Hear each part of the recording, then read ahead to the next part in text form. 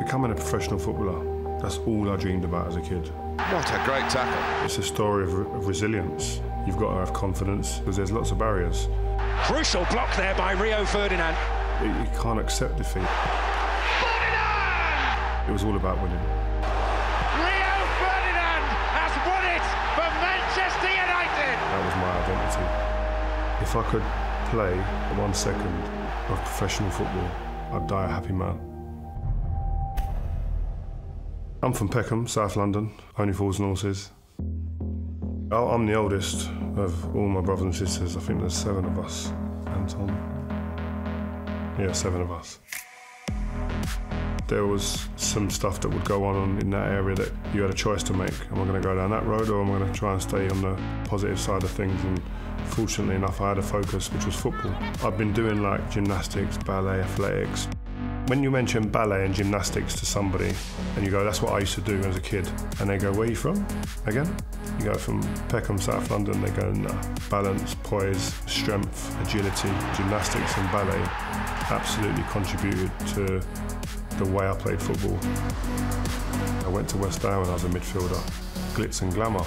Back pages, I'm going to be on them. I saw straight away I was a bit different to all the others. I could do things a bit different. There was a hotbed of talent coming through, but it was a great place to learn your trade. Yeah, this is um, my debut. My heart started racing. I knew it was time. Harry's preparing Rio Ferdinand for his first taste of top-flight football. To have that moment in the Premier League and come back to your estate where you've had those dreams and you've been talking those dreams up as kids, and you're the guy that's gone and done it. Yeah, we enjoyed our time at West Ham. Hold on. You out? Yeah, mate. Oh, Can you move? Come on, move it. And then West Ham decided to sell me.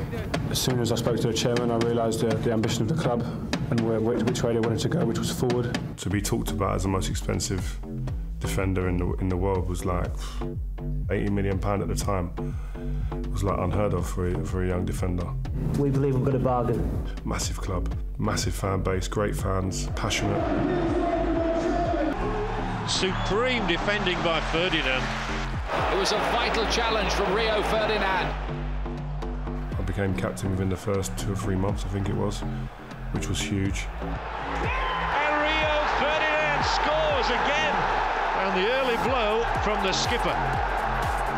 We were made quite aware quite quickly that players are going to leave. I happened to go to Manchester United, the best club in the land, the most successful club, and the rest is history.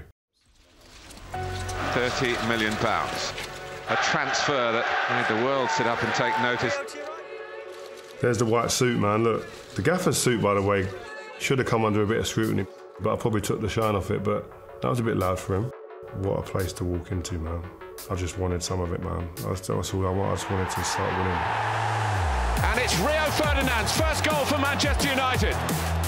My aim is to walk out of this place when I leave that I've done something to etch my, my name into the, the walls of this club. That's going to mean we're going to have to win some stuff. My first trophy, Roy Keane, all the guys there, yeah, great moment. Get your hands on that trophy. Rio Ferdinand, a champion. I think the goal I scored against Liverpool in, in front of the Stretford end, the header, was massive. Oh, the header is in!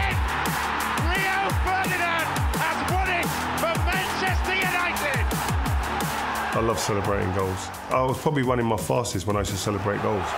Ferdinand, good control!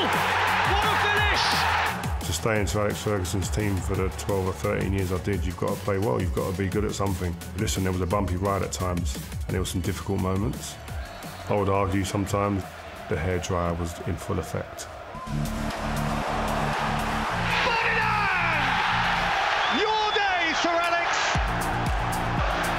One is for you, boss. And I remember Manu used to sit there, he went to me, Rio, do you realise you just scored the last goal at Old Trafford for the manager? Big moment. I sat there, I went, rah. I didn't score many, man, but yeah, that's a nice moment. People always say to me, ah, all the stuff you won, and it was great. Yeah, I, I, I love all that, obviously. I love hearing people talk about it, I can't lie. To have that recognition is always nice. To be inducted with such a high calibre of player, managers, is a tip the cap to say that the career was what you wanted and what you dreamed of as a kid. Trust me, nothing compares to being a Premier League football player. Nothing.